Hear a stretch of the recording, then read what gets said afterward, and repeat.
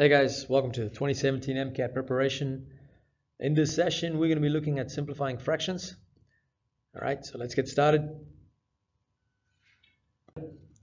So obviously, this is one of the styles of questions they're looking at this year is Seth has written this 3x over 4 plus 2x plus 3 over 6 equals 7x plus 6 over 12. Is he correct? And show your reasoning. Okay, so what we're going to do is I'm just going to work with the left-hand side of um, this equation. So I've got 3x over 4 plus 2x plus 3 over 6. And I think if you had watched in the previous video um, that if you were to cross multiply, you were going to actually end up with, um, well, when you cross multiply, make sure it doesn't have any common factors. With 4 and 6, you've got a common factor of 2. So, in other words, if I list down my, um, to, find the lowest multiple of 4 and 6, We've got 4, 8, and 12, and 6 and 12. If you had cross multiplied, what would have happened is 4 times 6 is 24. And so what you're actually doing is you're not actually dealing with the lowest common multiple, which in this case is 12. But if you cross multiply, then you'll be working with 24. And so you kind of need to simplify it later on. So rather than creating more work for yourself, try and find the lowest common multiple and work from there. All right, so with 6, we want to multiply the denominator by 2 and the numerator by 2.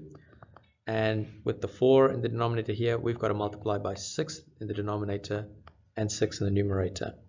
So simplifying this, 6 times 3x is 18x over, sorry, did I just make a mistake there? Yes, I did. I have. I shouldn't have actually multiplied by 6. I should have multiplied by 3. Don't know why I thought like that. Okay, so let's try that one again. So we've got 3 times 3 is 9x. 4 times 3 is 12. Plus, now, really important that when you multiply 2 with 2x plus 3, that you're multiplying every term. So you got to do something like this. 2 times 2x is 4x. 2 times 3 is 6 and that whole thing is divided by 2 so what you have is 9x plus 4x plus 6 over 12 and simplifying this you're going to get 13x plus 6 over 12 and if you look at the answer that Seth has actually written Seth has written 12 6 but he hasn't actually got the coefficient of x correct. So you basically say no he's not correct or no, he is incorrect. Okay, that's basically it for this question, guys. I'm going to do one more style, which is the subtraction, and I guarantee you, people always make a mistake with the next type of question that I'm going to show you guys. And here's what it looks like.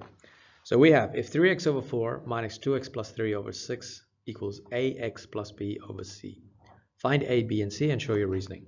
So Basically, we are doing the exact same thing as we did in the previous question. All right, we are going to find the lowest common multiple between 4 and 6. Now, we already know that it's 12, so I'm kind of going to uh, skip through that little step of trying to show you guys what the coefficients are. And I'm just going to say, well, I know 12 is the lowest common multiple. So I'll multiply this by 2 and multiply this by 2. And on this side, I've got multiplied by 3 and 3 in the numerator. So this simplifies to 9x over 4. Now, here's where people make mistake.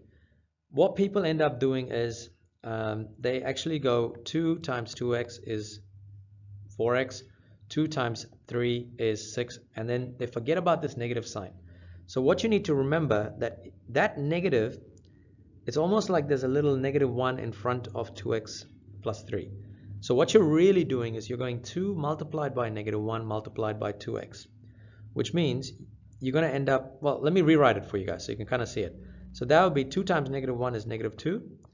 And then in the bracket, I've got 2x plus 3. I just realized I've got 12 here. And that's over 12. Now, if I expand it, I'm going to get negative 2 times 2 is negative 4x. Negative 2 times plus 3 is negative 6 and the whole thing is divided by 12. Simplifying this, I'm going to get 5x minus 6 over 12. And I can say, therefore, a is equal to 5, b equals minus 6, c equals to 12. Okay, and most people, the part where they make a mistake is this area here, where sometimes people write this as 9x minus 4x plus 6 over 12. So you've really got to be careful with this negative sign there. All right, guys, that's basically it for this type of questions today. If you have any questions, pop it in the comments below and I'll try my best to answer them. But apart from that, thank you for watching.